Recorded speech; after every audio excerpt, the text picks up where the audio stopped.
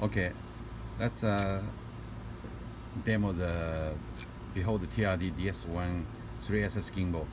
You can see the pitch model, the pitch arm can movable. You can pull in and pull out. For the Canon 5D3 heavy camera, the arm we need to pull out.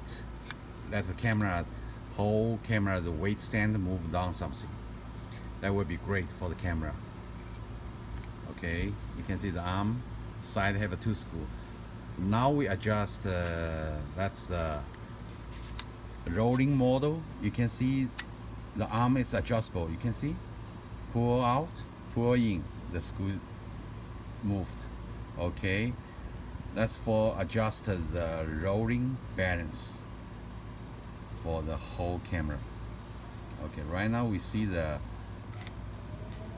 we see the yaw model that's for yaw position balance adjustment. You can see the arm, it's movable.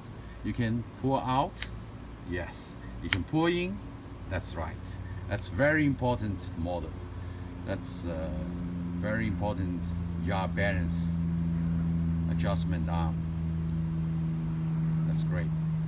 That's the DS1 Beholder TRD 3 axis gimbal.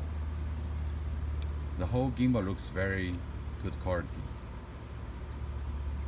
Okay, the screw can adjustable and tied. Okay, that's the screw for you to tie. Okay, the back side you can see. Okay, that's great. That's the screws for you tie the camera mantle plate. Okay, that's a joystick. Mm -hmm. You can see the joystick at the power power button, the green button. Yes, that's power on. Okay, you can you can see that's the newest handle. Quality, the CNC quality is very good. Okay, the back side is the battery holding inside. And a three-piece battery inside. Okay, that's good. Okay, that's screwing. Mm -hmm. Okay. Okay, let's uh, we test the Canon 5D3 with 20, 28 millimeter lens. Okay, that's uh, Beholder DS1 3 axis gimbal. Okay, let's install the camera into the gimbal. Okay. Back, the bottom side have a screw. We need to lose some. That camera can go inside.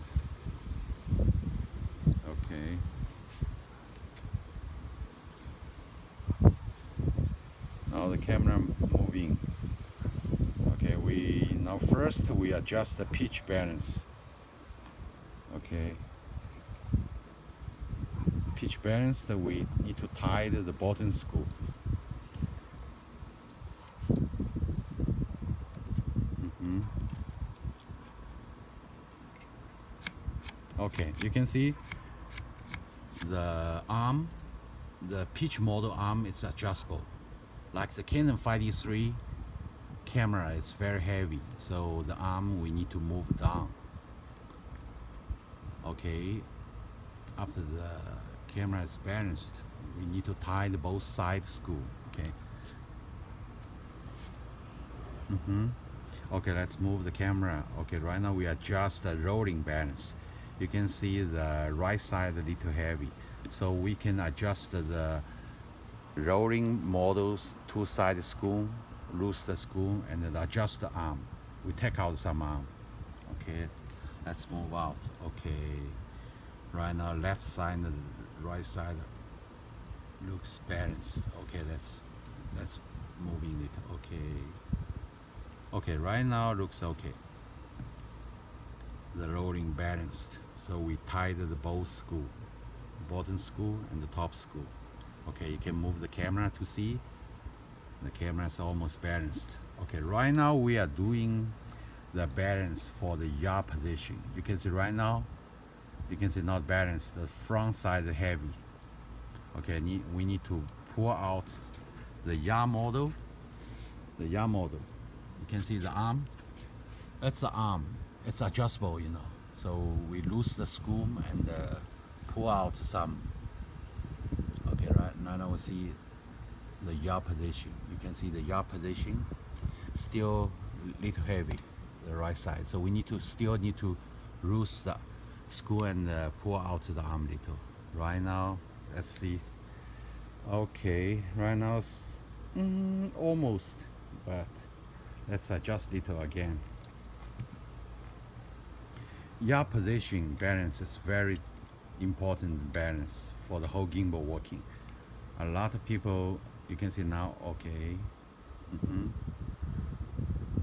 that looks almost okay the yaw balanced we can tie the both screw and then recheck the pitch model and the rolling model two side screw and the yaw model two side two screw we need to tie the screw and make sure very stable. Make sure the screw okay let's power on the gimbal. Okay. Right now we are testing. Okay. Okay joystick right now. We test. Okay lock position okay. That's the lock position you press one uh, pr quick press. Joystick straight down. You can lock. Press again. Okay let's go into the foreign mode again. Mm -hmm. hold the joystick will push little longer two seconds. Okay. Then we go into the half foreign mode. Press again. Go back okay that's the half foreign mode mm -hmm. press again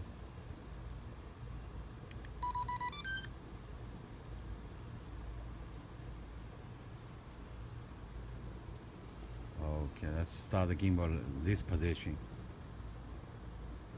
mm -hmm. Uh, DS1 have a lot of different working position. You can start the gimbal in any position. Okay, let's go into another position. Any position like you can start the gimbal. Okay, right now, okay, let's start the gimbal, okay? You can see the gimbal still working like this way because the customer have a different uh, position to take photo, you know. Okay, right now, go into this position and test the gimbal. Okay, let's go down. Okay.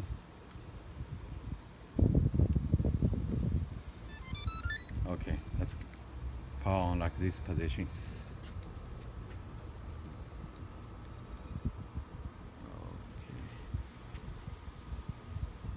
Again. Mm-hmm. Works good. That's very good. The Beholder DS1 3 axis gimbal. Everything works fine. Okay. Thank you so much. Okay. Uh, let's see the gimbal. You can see the arm. This left, left side arm is we call the yaw position arm. You can see right now we adjust the yaw position balance. You can see the camera, the whole camera move forward. That means the yaw position didn't adjust well. You can see go forward. So we need to adjust the yaw model arm. Let's pull out some, okay? Let's loose the screw. Uh, yaw model have two screw on the side. Okay, let's pull out. You can see that we pull out. Okay, we tied it little, then we check again. Okay. Now, okay, you can see the whole camera yaw position still little move right side, like front side. So we still need to loose the loose the screw first. Then we pull out the arm little. Let me take close to the arm. Okay, we, we move out some right now still almost okay. You can see the yaw position. Almost adjust okay. Now we tied the yaw motor side to screw okay. Then we check we check the camera almost balanced. Pitch rolling all okay now. And we just adjust little. The pitch and the rolling balance is much easier to adjust you know. only the yaw balance little difficult. Okay now it's okay. Let's start the gimbal. Okay. You can see the gimbal works good. Works very smooth because a lot of users face some difficulty for adjust the yaw balance so the gimbal works sometimes vibration. Okay let's power off. We can start this way. Okay let's power on like this position. We can power on the gimbal. Okay move the position. You can see the gimbal walks very smooth. That's great. Thank you so much